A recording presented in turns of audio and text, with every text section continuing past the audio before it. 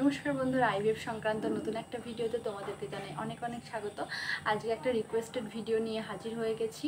আজকে আমি তোমাদেরকে বলব যে আইভিএফ ডোনার এক্স বা ডোনার স্পামের ভূমিকা কি? কখন ডোনার এক্স বা ডোনার স্পাম ইউজ করা হয় আইভিএফ এর ক্ষেত্রে?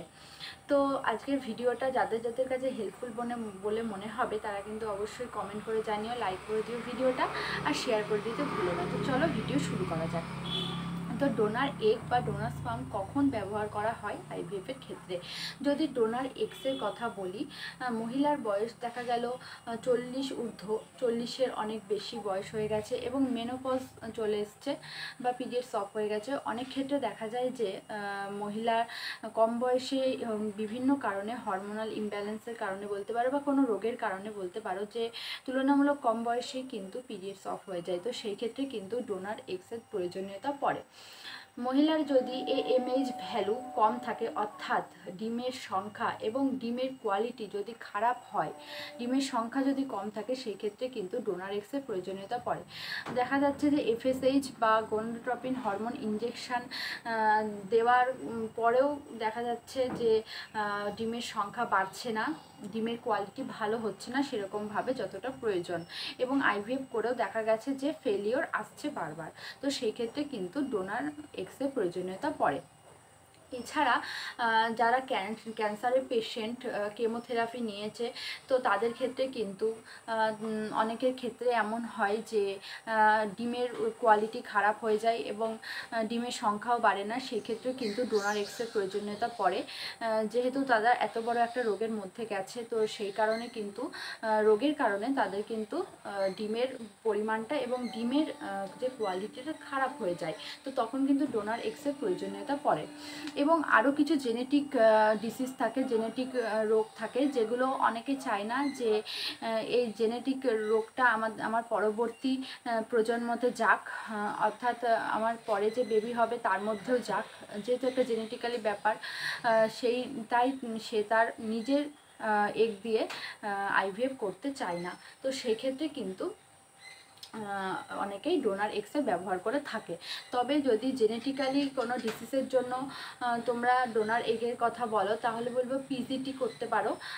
অর্থাৎ pre implantation genetically genetics test যেটা আছে PGT pre implantation genetics testing যেটা হয় সেটা করে কিন্তু ডক্টর বলে দিতে পারবে যে তোমার থেকে যে ডিম পাওয়া গেছে, সেখান থেকে কিন্তু এম, যে এমব্রায়োটা তৈরি হয়েছে, সেই এমব্রায়োতে তোমার সেই জেনেটিক্স যে ডিসিজ আছে, সেই ডিসিজটা গেছে কিনা? তো সেই টেস্টিং করে তোমরা আইভিএফ করতে পারো। সেক্ষেত্রে কিন্তু ডোনার এক্সের প্রয়োজনীয়তা পড়ে না। নিজের এক্স দিয়েই করা যায়। তো এই তো গেল ডোনার এক্সের কথা। এবার বলব ডোনার স্পাম দেখো ডোনার স্পামও সেই একই ব্যাপার।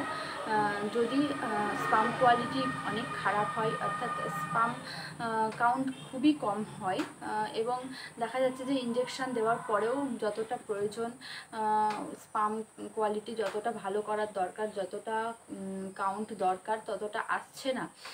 এবং অ্যাজোস্পার্মিয়া অর্থাৎ জিরো স্পাম কাউন্টের ক্ষেত্রে দেখা যাচ্ছে যে টেসা বা মাইক্রো টেসা করে সেরকমভাবে ভালো মানের স্পাম পাওয়া যাচ্ছে না।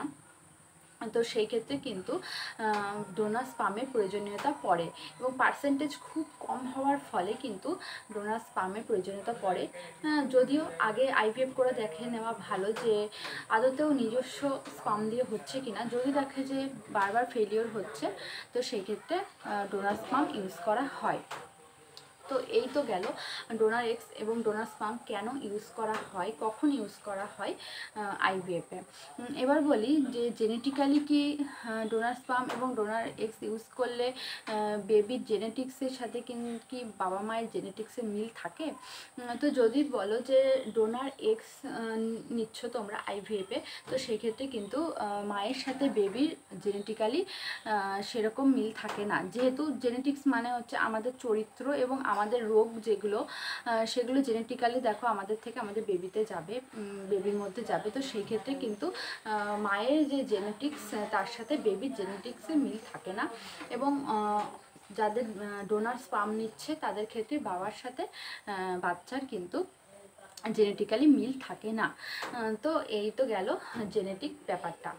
তো এবার বলি যে আইভিএফে যে হচ্ছে সাকসেস রেট কীরকম হয় যদি সেলফ এগ সেলফ স্পাম দিয়ে করা হয় এবং যদি ডোনার এক্স বা ডোনার স্পাম দিয়ে করা হয়, তবে সেক্ষেত্রে সাকসেস রেট কীরকম হয়? অবশ্যই সাকসেস রেট একটু বেশি হয় ডোনার এক্স এবং ডোনার স্পাম দিয়ে যদি আইভিএফ করায় সেক্ষেত্রে কিন্তু সাকসেস রেট তুলনামূলকভাবে একটু বেশি হয়। তবে হ্যাঁ যারা যাদের একেবারেই বলতে পারো যে হাল ছেড়ে দিয়েছে অ্যাডপ্ট অ্যাডপ্টের দিকে যাচ্ছ, যে বেবি অ্যাডপ্ট করবে তাদের ক্ষেত্রে বলব যে যদি দুজনেরই সমস্যা হয় এবং ডোনার এগ এবং ডোনার স্পাম দুটোই নেওয়ার প্রয়োজনীয়তা পড়ে তবে আমি বলব যে ওটাই বেটার আইভিএফ করে অ্যাটলিস্ট সন্তান নিজের গর্ভে ধারণ করতে পারবে। হ্যাঁ এগ আর স্পান দুটোই ডোনার হবে, কিন্তু দেখো নিজের গর্ভে যে সন্তান ধারণ করতে পারবে, এটাই হচ্ছে বড় কথা। তো অ্যাডপ্ট নেওয়ার থেকে কিন্তু এটাই বেটার বলে আমি মনে করি। তো যাই হোক জেনেটিক্যালি তো মিল অ্যাডপ্ট নিলেও থাকছে না আর আইভিএফেও থাকছে না, তবু কিন্তু মায়ের সাথে বাচ্চার কিন্তু একটা নারীর টান থাকছে। তাই আইভিএফে যদি দুজনেরই সমস্যা থাকে ডোনার এগ এবং ডোনার স্পাম দুটোই নেওয়ার প্রয়োজনীয়তা পড়ে, তবুও আইভিএফই বেটার অ্যাডপ্ট নেওয়ার থেকে। আর ডোনার এক্স এবং ডোনার স্পাম এটা সব জায়গায় হয় না। যেমন আমি বলব যে আমি ভেলোর সিএমসি থেকে করেছি, ওখানে হয়তো হয় না, যতদূর আমি শুনেছি, ওখানে কিন্তু ডোনার এক্স ডোনার স্পাম দিয়ে আইভিএফ করা হয় না। এবং অনেক জায়গাতেই ডোনার এক্স ডোনার স্পাম দিয়ে আইভিএফে কিন্তু পার্সেন্টেজ অনেকটা বেশি দেয়। সেভেন্টি থেকে এইট্টি পার্সেন্ট সাকসেস রেট দেয়। ওরা আজকের ভিডিওটা এই পর্যন্ত শেষ করছি। তো ভিডিও ভালো লাগলে কিন্তু কমেন্ট করে জানিও। আর যারা যারা চ্যানেলটা সাবস্ক্রাইব করেনি সাবস্ক্রাইব করে আমার পাশে থেকো। তো চলো আজকের মতন বিদায়। দেখা হবে আবার পরবর্তী নতুন ভিডিওতে